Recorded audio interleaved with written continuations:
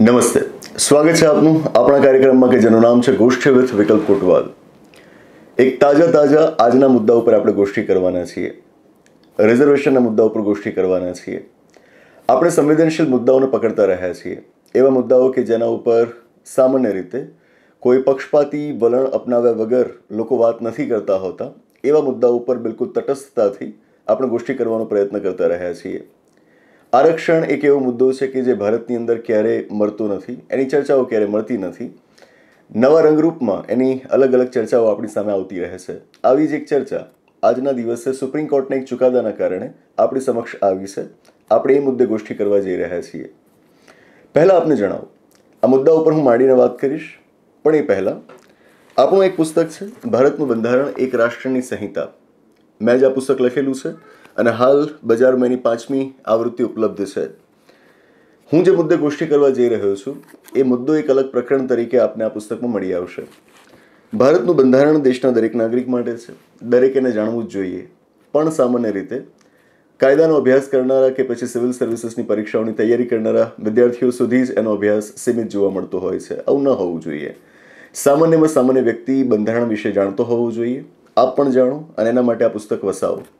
ખાસ આજની ગોષ્ઠીના સંદર્ભમાં કહીશ કે એ મુદ્દો આ પુસ્તકની અંદર ખૂબ છણાવટથી સમજાવવામાં આવેલો છે.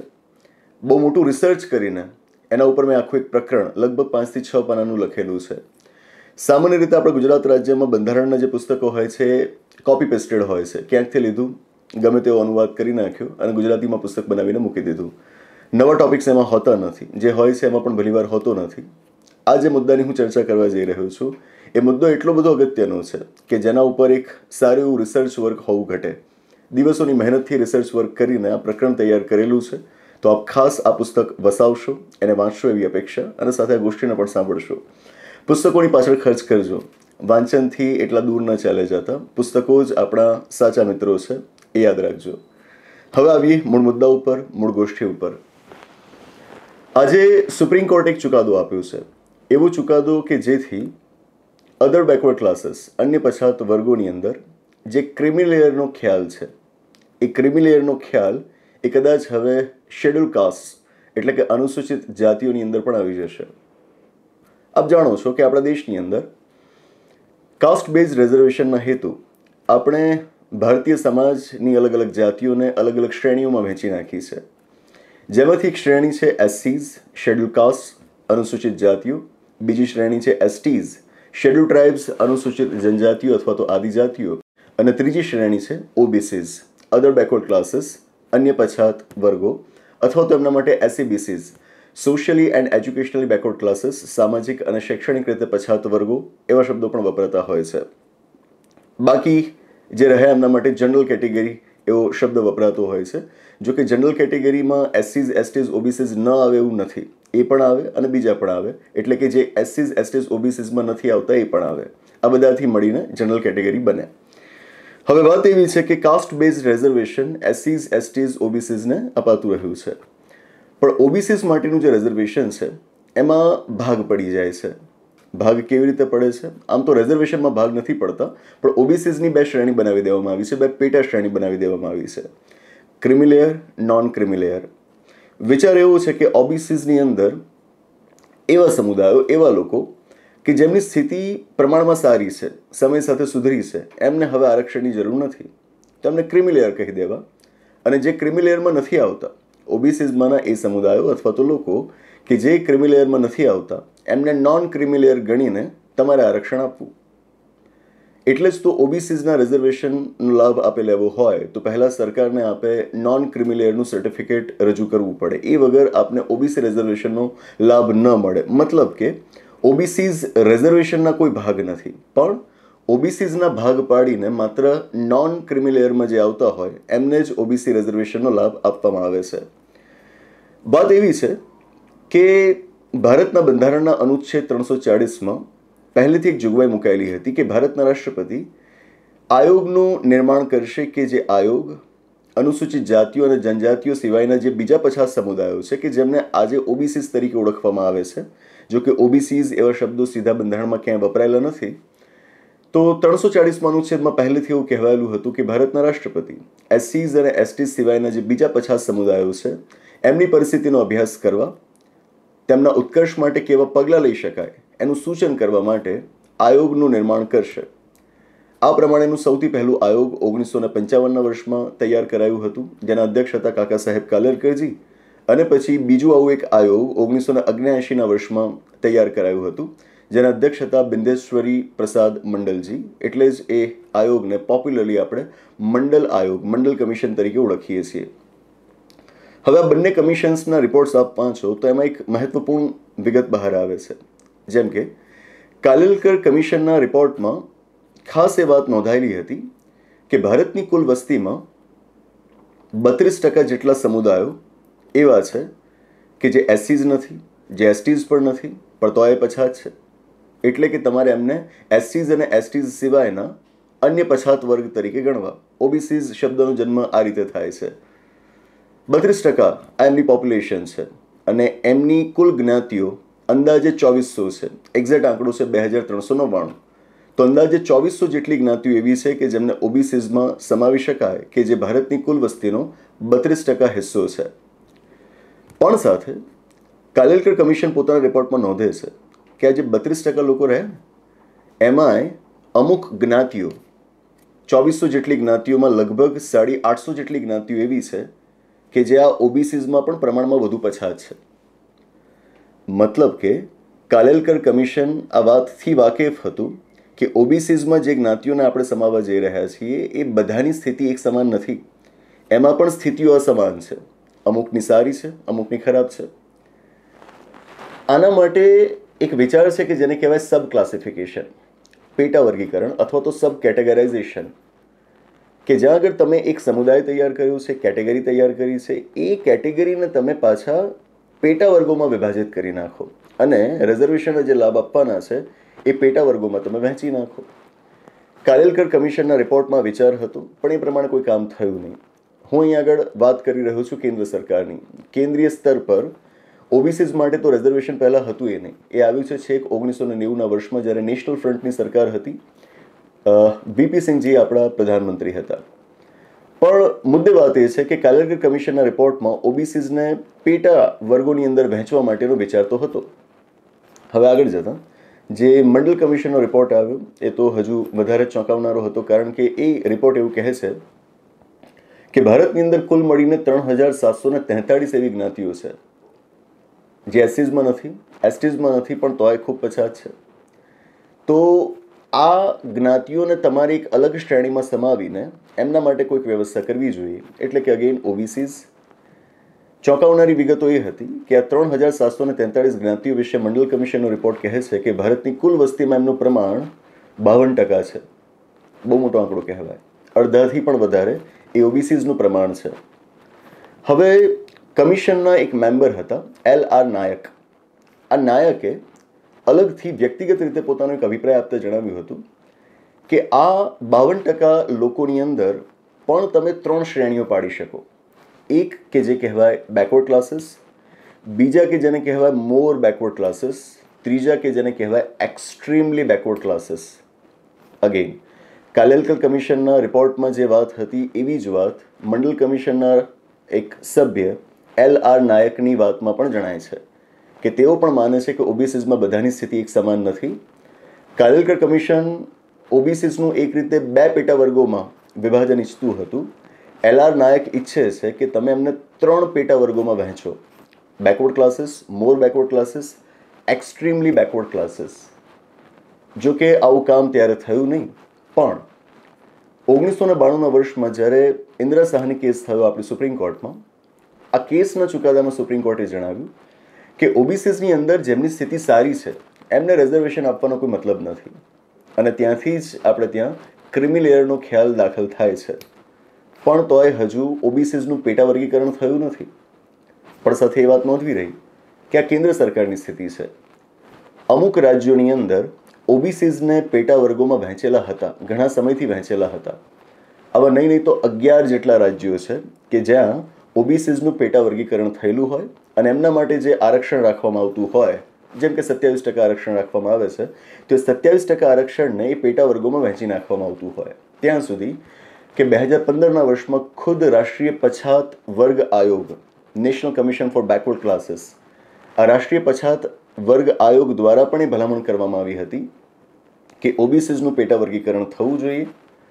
જેને ધ્યાનમાં રાખીને બે હજાર સત્તરના વર્ષમાં ભારત સરકાર દ્વારા એક પંચનું ગઠન કરવામાં આવે છે, જેનું નામ છે રોહિણી આયોગ, રોહિણી કમિશન. જેનો રિપોર્ટ થોડાક સમય પહેલાં જ આવ્યો હતો. લોકસભાની ચૂંટણીની બિલકુલ પહેલાં એક એવી આશંકા હતી કે રોહિણી કમિશનના રિપોર્ટનો ઉપયોગ લોકસભાની ચૂંટણીમાં થશે રાજનીતિ માટે. પણ જો કે એવું થયું નહીં. સારું થયું કે જેથી જાતિ આધારિત રાજકારણ એટલું બધું ન વકર્યું તો આ પ્રમાણે ઓબીસીઝના પેટા વર્ગીકરણનો મુદ્દો ચાલતો રહ્યો છે. હજુ સુધી એ જીવંત છે. આના જ અનુસંધાનમાં આજનો મુદ્દો છે અને એ છે અનુસૂચિત જાતિઓના પેટા વર્ગીકરણનો, એસસીઝ શેડ્યુલ કાસ્ટ જે રીતે ઓબીસીઝની અંદર પેટા વર્ગીકરણની માંગ ઉઠી છે, અગિયાર જેટલા રાજ્યોની અંદર આવું પેટા વર્ગીકરણ થઈ ગયું છે અને પૂરી શક્યતાઓ છે કે ટૂંક સમયમાં કદાચ કેન્દ્ર સરકાર દ્વારા ઓબીસીઝ માટે જે રિઝર્વેશન રાખવામાં આવે છે, એની અંદર પણ ઓબીસીઝનું પેટા વર્ગીકરણ કરીને એ પેટા વર્ગોની અંદર સત્યાવીસ ટકાનું આરક્ષણ વહેંચી દેવામાં આવે. આવું જ શેડ્યુલ કાસ્ટના રિઝર્વેશનમાં પણ થવું જોઈએ. અનુસૂચિત જાતિઓના આરક્ષણમાં પણ થવું જોઈએ. આવી માંગ ઉઠી છે. આવી માંગ આજકાલથી નથી ઉઠી. વર્ષોથી ચાલી છે. એવા દાવા થતા રહ્યા છે કે એસસીઝ, એસટીઝ, ઓબીસીઝ કોઈ પણ કેટેગરીમાં એ શ્રેણીઓમાં આવતા વાસ્તવમાં જે જરૂરિયાતમંદ લોકો છે, એમના સુધી આરક્ષણનો લાભ પહોંચતો નથી. અમુક લોકો છે, અમુક પરિવારો છે કે જે આરક્ષણનો લાભ પેઢી દર પેઢી લેતા જાય છે. અને જે લોકો સુધી લાભ પહોંચવો જોઈએ, એમના સુધી પહોંચવા નથી દેતા. જો કે આ દાવા માટે કોઈ ઠોસ પ્રમાણ રજૂ નથી કરી શકાય હજુ સુધી. એના કોઈ એમ્પેરિકલ કે ક્વોન્ટિફાયેબલ ડેટા આજ દિન સુધી રજૂ થયા નથી. પણ હવામાં આવી વાતો થતી રહે છે. કે એસસીઝ એસટીઝ ઓબીસીઝમાં વાસ્તવમાં જે લોકોને રિઝર્વેશનનો લાભ મળવો જોઈએ એ એમના સુધી પહોંચતો નથી અને એ કેટેગરીઝમાંના અમુક લોકો જ આરક્ષણનો લાભ લઈ જાય છે. તો જે રીતે ઓબીસીઝમાં ક્રિમિનલમાં આવતા લોકોને આરક્ષણથી દૂર કરી દેવાયા છે. એમ એસસીઝ અને એસટીઝમાં પણ ક્રિમિનલમાં આવતા લોકોની ઓળખ કરીને એમને રિઝર્વેશનથી અલગ કરી દેવાય. આવી વાતો ચાલતી રહી છે. હવે આ દિશામાં અમુક રાજ્યોની અંદર કાનૂની પ્રયત્નો પણ થયા છે. જેમાં ખાસ અને સૌથી પહેલી નોંધ લેવી પડે પંજાબની. પંજાબની અંદર છેક ઓગણીસો ને પંચોતેરના વર્ષમાં ત્યાંની રાજ્ય સરકારે એસસીસ માટેનું જે રિઝર્વેશન હતું, એમને ત્યાં પચીસ ટકા, એને બે ભાગોમાં વહેંચી નાખ્યું. પચાસ પચાસ ટકા, એટલે કે સાડા બાર સાડા બાર ટકા. અને સાડા બાર ટકા આરક્ષણ એમણે એસસીઝમાં આવતી બે જાતિઓ જેમાંથી એક છે વાલ્મીકી અને બીજા છે મઝહબી શીખ. આમના માટે કરી નાખ્યું. બાકીના સાડા બાર ટકામાં બાકીની એસસીઝની જાતિઓ. મતલબ, પહેલાં શું હતું કે પચીસ ટકામાં બધી જ એસસીઝની જાતિઓ આવતી. હવે પચીસ ટકામાંથી સાડા બાર ટકા ફક્ત વાલ્મીકી અને મઝહબી શીખ લોકો માટે અને બાકીના જે સાડા બાર ટકા રહ્યા, એ સાડા બાર ટકામાં એસસીઝની જે બાકીની જાતિઓ બચી બધી આવી જાય. આ થયું કહેવાય એસસીઝનું સબ ક્લાસિફિકેશન પેટા વર્ગીકરણ કે જેવું કેન્દ્રીય સ્તર પર ઓબીસીઝ માટેનું હતું અને કોઈ રાજ્યમાં એસસીઝ માટે નહોતું કે એસટીઝ માટે નહોતું, એવું પહેલી વખત એસસીઝ માટે પંજાબમાં શરૂ થાય છે. એના પછી આપ જોશો કે આ જ વાત આંધ્રપ્રદેશમાં પણ જોવા મળી. આંધ્રપ્રદેશની અંદર જો હું ખોટું ન હતું ઓગણીસો ને છન્નુંના વર્ષમાં એક કમિશન બનાવાયું હતું, રામચંદ્ર રાજુની અધ્યક્ષતા હેઠળ, રાજુ કમિશન. અને આ કમિશને પોતાના રિપોર્ટમાં જણાવ્યું હતું કે આંધ્રપ્રદેશની અંદર જે પંદર ટકા એસસીઝ રિઝર્વેશન છે, ત્યાં આગળ પંદર ટકા છે. રાજ્ય રાજ્ય અનામતની ટકાવારી અલગ અલગ હોય છે શ્રેણી પ્રમાણે.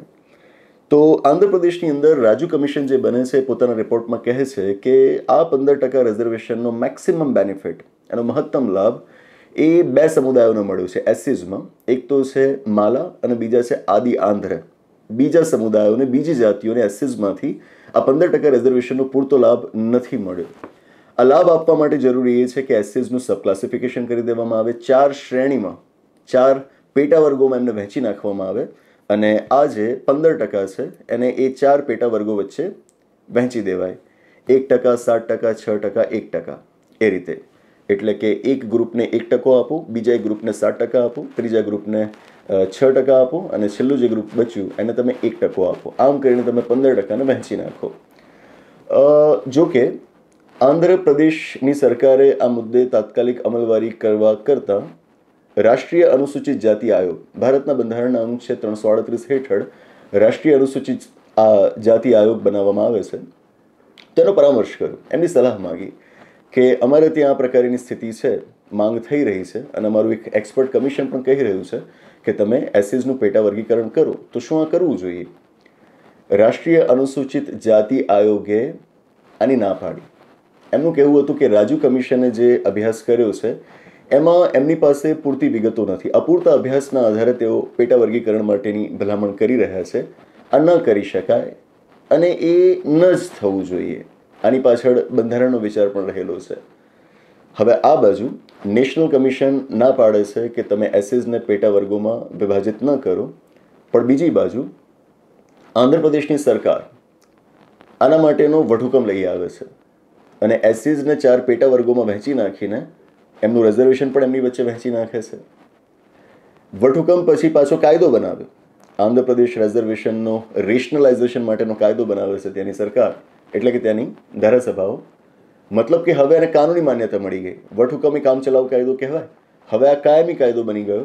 પેટા વર્ગીકરણ સાથેનો કાયદો. આ કાયદાને પડકારવામાં આવ્યો સુપ્રીમ કોર્ટમાં.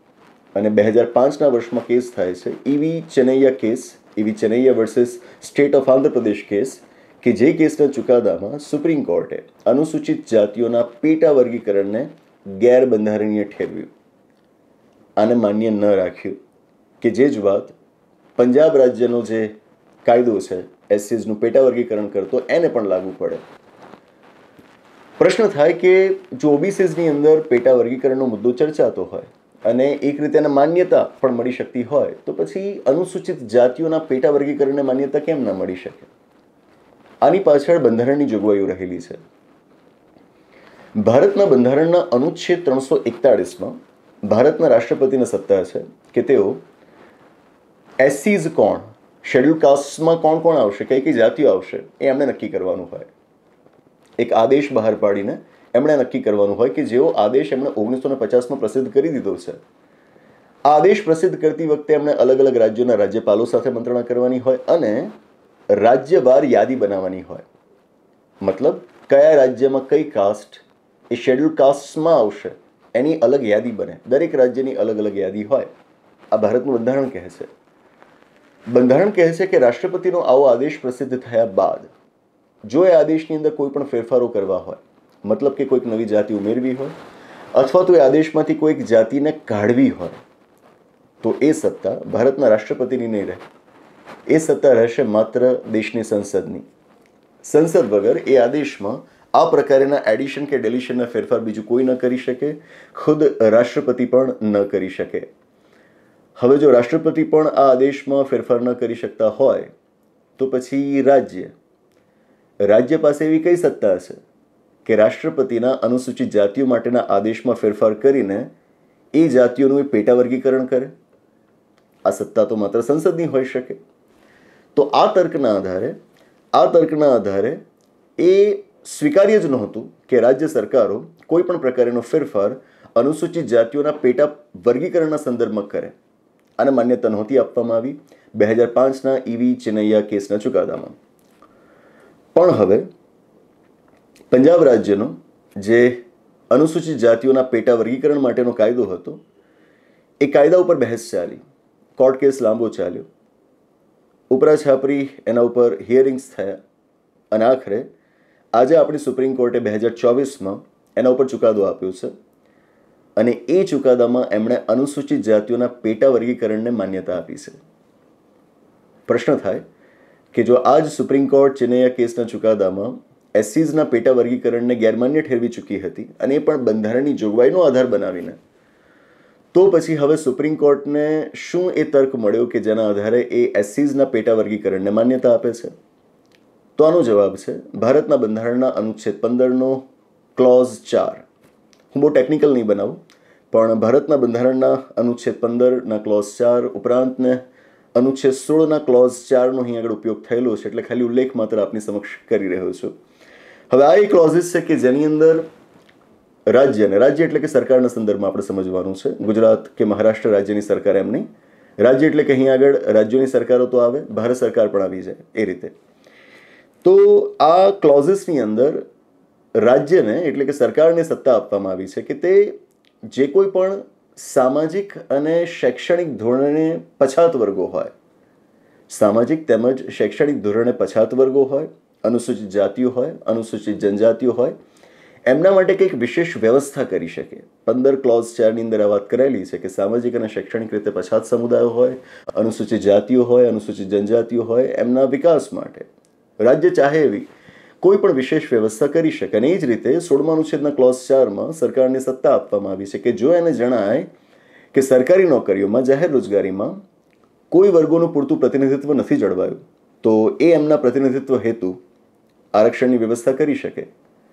તો પંદર ચાર અને સોળ ચારની અંદર રાજ્ય પાસે એ અધિકાર છે, સરકાર પાસે અધિકાર છે કે પોતાની રીતે એવા વર્ગોની ઓળખ કરી શકે કે જે એના મતે સરકારી નોકરીઓમાં પૂરતું પ્રતિનિધિત્વ નથી ધરાવતા અથવા તો બીજી રીતે એ સામાજિક કે શૈક્ષણિક ધોરણે પછાત છે. અને એ પ્રમાણે એમના માટે આરક્ષણ અથવા તો બીજી કોઈ પણ વ્યવસ્થા કરી શકે. તર્ક અત્યારે અહીં આગળ એ લેવાય છે. કે ત્રણસો એકતાળીસમાં અનુચ્છેદ પ્રમાણે રાષ્ટ્રપતિનો જે આદેશ છે, ભલે એ આદેશની અંદર ફેરફાર કરવાની સત્તા માત્ર સંસદની હોય, રાજ્યોની ન હોય, પણ પંદર ચાર અને સોળ ચાર પ્રમાણે તો રાજ્ય સરકારો પાસે અધિકાર હોય ને? કે એ પોતાની રીતે ઓળખ કરી શકે એવા વર્ગોની કે જે સામાજિક અને શૈક્ષણિક દ્રષ્ટિએ પછાત છે, જેમનું સરકારી નોકરીઓમાં પૂરતું પ્રતિનિધિત્વ નથી જળવાયું? તો આ ઓળખ એ કરી શકે અને આ ઓળખ એ રાષ્ટ્રપતિ દ્વારા જે એસીઝનું લિસ્ટ બહાર પાડવામાં આવ્યું છે, એમાંથી પણ કરી શકે. આ અનુચ્છેદોની જોગવાઈઓ એક રીતે રાજ્યોની સરકારોને અધિકાર આપે છે કે તેઓ ચાહે તો એસીઝનું પેટા વર્ગીકરણ કરીને એમના માટે આરક્ષણની વહેંચણી કરી શકે. કહેવાનો મતલબ એ છે કે ત્રણસો એકતાળીસમાં અનુચ્છેદનું જે અર્થઘટન હતું, એનાથી આગળ વધીને ભારતના બંધારણના બીજા અનુચ્છેદો, પંદર છે, સોળ છે, એના ક્લોઝિસ એની જોગવાઈઓનું અર્થઘટન કરીને સુપ્રીમ કોર્ટનો આજનો ચુકાદો આવ્યો છે કે જેમાં અનુસૂચિત જાતિઓના પેટા વર્ગીકરણને આપણી સુપ્રીમ કોર્ટે માન્યતા આપી છે. એટલે કે હવે કદાચને એ પૂરી શક્યતા છે કે એસીઝની અંદર પણ સબ ક્લાસિફિકેશન થશે ક્રિમિલેયરનો કોન્સેપ્ટ આવશે. જો કે સાથે સુપ્રીમ કોર્ટે સ્પષ્ટતા કરી છે કે આ આડેધડ નથી કરવાનું, આડેધડ નથી કરવાનું. તમારે જે કંઈ પણ કરવાનું છે, એમ્પેરિકલ અને ક્વોન્ટિફાયેબલ ડેટાના આધારે કરવાનું છે. મતલબ કે તમારી પાસે પૂરતા આંકડા હોવા જોઈએ, પૂરતા તથ્યો હોવા જોઈએ. એના આધાર ઉપર તમારે આ પેટા વર્ગીકરણ કરવાનું છે અને એ પ્રમાણે પછી અનામતને વહેંચવાનું છે. એમને એમ નહીં પોલિટિકલ ગેઇન્સ માટે જરાય નહીં. તો હવે જોવાનું એ થાય છે કે રાજ્યો એમ્પેરિકલ અને ક્વોન્ટિફાયેબલ ડેટાના આધારે આવું પેટા વર્ગીકરણ કેવી રીતે કરે છે? રિઝર્વેશનની કોઈ પણ વાત હોય સુપ્રીમ કોર્ટ વારંવાર કહેતી રહી છે કે આરક્ષણ તમે કોઈ પણ સમુદાયને આપો કેટલું એ આપો. પણ એની પાછળ તમારો કોઈ તર્ક હોવો જોઈએ. તમારી પાસે એના માટેના યોગ્ય આંકડાઓ હોવા જોઈએ. પણ આરક્ષણની જ્યારે પણ આપણે ત્યાં બહેસ થતી હોય કે ઘણી વખત તો કાયદા બનતા હોય, તો એની અંદર આવા ડેટાનો અભાવની સંપૂર્ણ અભાવ જોવા મળે છે. ઇવન ત્યાં સુધી કે ઈડબ્લ્યુએસ માટે ટેન પર્સન્ટ રિઝર્વેશન દાખલ કરવામાં આવ્યું. એની પાછળ પણ કોઈ ડેટા આપણી સમક્ષ આવ્યા નથી. એના માટેની કોઈ રજૂઆત, આંકડાઓ સાથેની આપણી સમક્ષ આવી નથી. અને એટલે જ એ ઉતાવળિયું જે સંવૈધાનિક સંશોધન થયું, બંધારણમાં સુધારો થયો, એના પરિણામ આજે આપણે ભોગવી રહ્યા છીએ કે જ્યાં આગળ ઈડબ્લ્યુએસ રિઝર્વેશનનો મેક્સિમમ મિસયુઝ થાય છે, ખોટા સર્ટિફિકેટ્સ બનાવીને, જેમ કે હમણાંના જ ઘણા બધા કિસ્સાઓ આપણી સમક્ષ આવ્યા છે કે યુપીએસસી જેવી સંસ્થાની અંદર પણ, જો કે ત્યાં તો ઈડબ્લ્યુએસના મામલા ઉપરાંત ઓબીસી રિઝર્વેશનનો મામલો પણ હતો, તો સર્ટિફિકેટ્સની મદદથી બધું સગે વગે થઈ જતું હોય છે અને ખોટી રીતે આરક્ષણનો લાભ લેવામાં આવતો હોય છે. તો આવામાં એમ્પેરિકલ અને ક્વોન્ટિફાયેબલ ડેટા રાજ્ય સરકારો ક્યાંથી લાવશે? બહુ મોટો સવાલ છે. અને આ જ મુદ્દાના અનુસંધાનમાં કહી શકાય કે ભારત માટે કદાચ હવે તાતી જરૂરિયાત છે કાસ્ટ સેન્સસની જો જાતિ આધારિત વસ્તી ગણતરી થશે, તો આપણી પાસે આ બધા આંકડા વધુ સારી રીતે આવશે. જે આંકડાઓની મદદથી આપણે અલગ અલગ વર્ગોનું ઉત્થાન કેટલું થયું છે અને કોણ હજુ પાછળ રહી ગયા છે, એને સમજી શકીશું. અને રિઝર્વેશનની જે આખી ડિબેટ છે એને પાટા ઉપર લાવી શકીશું ઓકે હવે સાથે એક મુદ્દો નોંધવાલાયક એ પણ આવે કે સુપ્રીમ કોર્ટનું આ જે જજમેન્ટ આવ્યું છે, એ સાત ન્યાયાધીશોની બનેલી ખંડપીઠ દ્વારા આપવામાં આવ્યું છે. સાત જજીસની બેન્ચ હતી, એણે આ ચુકાદો આપ્યો છે. પણ આ સાત જજીસમાંથી છ જજીસ એ આ જજમેન્ટને સપોર્ટ કરે છે, મતલબ કે એમનું જજમેન્ટ છે. પણ એક જજ છે કે જે આને સપોર્ટ નથી કરતા. મેજોરિટીથી ડિસિઝન લેવાય, બહુમતથી નિર્ણય લેવાય, તો સ્વાભાવિક છે કે છ જણ જે બાજુ હશે એ જ તમારું જજમેન્ટ બનશે. પણ એક એક ભલે એક હોય, ભલે એ બાકીના કરતાં ઓછા હોય, પણ એમનો અવાજ તો સંભળાવવો જોઈએ. ડિસેન્ટિંગ નોટ આપનારા જજ છે જસ્ટિસ બેલા ત્રિવેદી જસ્ટિસ બેલા ત્રિવેદી કે જે પહેલાં આપણે ત્યાં ગુજરાત હાઈકોર્ટમાં જજ હતા, અત્યારે સુપ્રીમ કોર્ટમાં જજ છે, અને એમણે ડિસેન્ટિંગ નોટ આપી છે. ડિસેન્ટિંગ નોટ આપી છે, એનો અર્થ એ થયો કે તેઓ આ જજમેન્ટ સાથે સહેમત નથી. એ પોતાના મુદ્દાઓ રજૂ કરતી વખતે કહે છે કે ત્રણસો એકતાળીસમાં છે, સ્પષ્ટપણે કહે છે કે રાષ્ટ્રપતિનો આદેશ પ્રસિદ્ધ થયા બાદ સંસદ પાસે માત્ર એની અંદર કોઈ પણ પ્રકારના ફેરફાર કરવાની સત્તા છે, તો તમારે એને જોઈને ચાલવાનું હોય. તમે અહીં આગળ પંદરમાનું છેદના ક્લોઝ ચાર કે સોળમાનું છેદના ક્લોઝ ચારનો ઉપયોગ કરીને આવો તર્ક ન કરી શકો કે રાજ્ય સરકારો પોતાની રીતે સમુદાયની ઓળખ કરી શકે છે. સ્પષ્ટ કહે છે કે પંદરમાનું છેદના ક્લોઝ ચાર અને સોળમાં અનુચ્છેદના ક્લોઝ ચારમાં જે જોગવાઈ છે, એ જોગવાઈઓ એનેબલિંગ પ્રોવિઝન્સ છે. બહુ ટેકનિકાલિટીઝમાં નહીં જાઉં જજમેન્ટ્સ ઘણા લાંબા હોય છે. એનેબલિંગ પ્રોવિઝન્સ એટલે કે જે રાજ્યને કંઈક કામ કરવું હોય તો એના માટે એમ્પાવર કરે છે, એને શક્તિ પ્રદાન કરે છે. પણ એના અર્થમાં એવું ના લેવાય કે તમે રાષ્ટ્રપતિના આદેશની અંદર ફેરફાર કરી શકો, પેટા સમૂહોમાં એસીઝને વહેંચી શકો. એટલે કે કાયદાનો એ એમની રીતે એક અલગ અર્થઘટન અહીં આગળ જજમેન્ટમાં આપી રહ્યા છે. એ ખાસ નોંધે છે. કે ત્રણસો એકતાળીસમાં અનુચ્છેદને ઘડતી વખતે બંધારણ સભામાં જે ચર્ચા થઈ હતી અને એમાંય ખાસ ડૉક્ટર ભીમરાવ આંબેડકરજીની જે દલીલ હતી, એ દલીલ આ હતી કે રાષ્ટ્રપતિના હાથમાં આપણે એસસીઝનું લિસ્ટ નક્કી કરવાની સત્તા કેમ આપીએ છીએ? કે જેથી રાજ્ય સ્તરે થતા રાજકારણથી આ બાબતોને બચાવી શકાય. સ્ટેટ લેવલ પર, રિજનલ લેવલ પર, લોકલ લેવલ પર કાસ્ટ બેઝડ પોલિટિક્સ બહુ ખરાબ હોય છે. જેટલા તમે ઉપર જતા જાઓ એમ એમ આ થોડુંક ઘટતું જાય. સાવ તો બંધ થતું નથી, પણ તો એ પ્રમાણમાં ઘટતું જાય. રિજનલ લેવલ પર, પ્રાદેશિક સ્તર પર જાતિ આધારિત રાજકારણ બહુ ખરાબ હોય છે.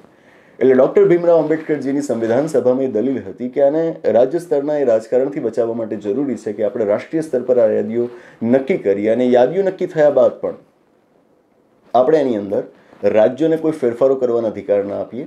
એટલે જ તો સુધારા કરવાની સત્તા એ આદેશમાં માત્ર સંસદને મળેલી છે. તો બેલા ત્રિવેદીજીનું કહેવું એ હતું કે, જો આ જોગવાઈઓ આ છે, બંધારણ સભાની ચર્ચાઓ આપણી સમક્ષ છે. અને છતાંય આપણે કહીએ છીએ કે રાજ્ય સરકારો હવે અનુસૂચિત જાતિઓનું પેટા વર્ગીકરણ કરીને એમની વચ્ચે એસસીઝ રિઝર્વેશનને વહેંચી શકશે. તો એ બંધારણીય રીતે યોગ્ય નથી. કોન્સ્ટિટ્યુશનનો જે સ્પિરિટ છે, એ લેટર પ્રમાણે યોગ્ય નથી નથી એ સ્પિરિટ પ્રમાણે યોગ્ય. અને આ મુદ્દો બેલા ત્રિવેદીજીએ પોતાના જજમેન્ટ પણ નોંધ્યો છે. પણ જેમ મેં કહ્યું કે it is a dissenting note જે છ ન્યાયાધીશોએ વાત કહી છે, એને જ તમારે આખરી ચુકાદા તરીકે લઈને ચાલવાનું છે. તો આ વાત હતી પેટા વર્ગીકરણ વિશે, પછાત વર્ગોના પેટા વર્ગીકરણ વિશે. ખાસ આપને કહીશ કે મુદ્દો ખૂબ રસપ્રદ છે અને સમજ માંગી લેવો છે, પૃથક્કરણ એનાલિસિસ માંગી લેવો છે. બે હજાર સાતના વર્ષમાં તો ખુદ ભારત સરકારે એસીઝના સબ ક્લાસિફિકેશનના મુદ્દે અભ્યાસ કરવા માટે એક ઉષા મહેરાજી કરીને છે. એમની અધ્યક્ષતા હેઠળ પંચનિમ્યું હતું. જો કે આનો સ્કોપ આંધ્રપ્રદેશ પૂરતો સીમિત હતો. તો આવો પ્રયત્ન રાષ્ટ્રીય સ્તર પર પહેલાં પણ થઈ ચૂક્યો છે એસીઝના સબ ક્લાસિફિકેશન માટેનો. અને આપણું જે રાષ્ટ્રીય અનુસૂચિત જાતિ આયોગ છે, એણે વારંવાર પોતાનો પક્ષ મૂકી રાખ્યો છે કે નહીં એસસીઝનું સબ ક્લાસિફિકેશન ન કરી શકાય. બરાબર? તો આ બધાની વચ્ચે જ્યારે સુપ્રીમ કોર્ટનો આજે આ ચુકાદો આવે, તો એ ખરેખર અભ્યાસના લાયક છે. અને જેમ મેં આપને કહ્યું કે ભારતના બંધારણનું આપણું આ પુસ્તક છે, એમાં ચારસો ઇઠ્યોતેર નંબરના પાનાથી આપના પ્રકરણ મળી આવશે, પછાત વર્ગોનું પેટા વર્ગીકરણ. પુસ્તકો બચાવજો વસાવજો, એની પાછળ યોગ્ય ખર્ચ કરજો અને સારા પુસ્તકોને વાંચીને આપણા અભ્યાસને મજબૂત બનાવો એવી અપેક્ષા. અને માત્ર સરકારી નોકરીઓની પરીક્ષાની તૈયારી કરનારા લોકો માટે નથી. એમને તો હું માત્ર માત્ર એમને જ હું ટાર્ગેટ નથી કરતો. ગોષ્ઠીમાં પ્રયત્ન આપણો એ હોય છે કે સામાન્યમાં સામાન્ય વ્યક્તિને સમજાય એવી ભાષામાં સરળ શબ્દોમાં રજૂઆત કરીએ. બાકી આ જ મુદ્દાને હું સામાન્ય રીતે ક્લાસરૂમની ચર્ચામાં બેથી અઢી કલાક કે ત્રણ કલાક સુધી સમજાવતો હોઉં છું. અને ટેકનિકલ ડિટેલ્સ સાથે, એના બધા જ કાનૂની પરિમાણો સાથે લગભગ અઢી ત્રણ કલાક સુધી સમજાવતો હોઉં છું. અહીં આગળ પ્રયત્ન કરું છું કે અડધા કલાકની અંદર સરળ ભાષામાં બધી વાતોને સમેટી લઉં. તો આ ઉપરાંતની હજુ વધારે વાતો આપને વાંચવી હોય, જાણવી હોય, સમજવી હોય, શીખવી હોય, તો એના માટે આપણું પુસ્તક ખાસ વસાવજો. અને એમાં ચારસો અઠ્યોતેર નંબરના પાનાથી આજે પછાત વર્ગોનું પેટા વર્ગીકરણ નામનું પ્રકરણ શરૂ થયું છે. ખૂબ મહેનતથી લખ્યું છે. એને આપ ખાસ વાંચજો. બસે તો આની સાથે આ ગોષ્ઠીને અહીં આગળ સમાપ્ત કરીએ છીએ. આવનારા એપિસોડમાં આવા જ કોઈક નવા અને રસપ્રદ મુદ્દાની ગોષ્ઠી સાથે પાછા મળીશું. આભાર. નમસ્તે.